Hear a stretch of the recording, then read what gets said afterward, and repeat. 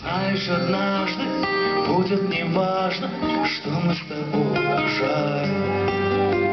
Хоть Случайно, хоть и печально, снова придет февраль.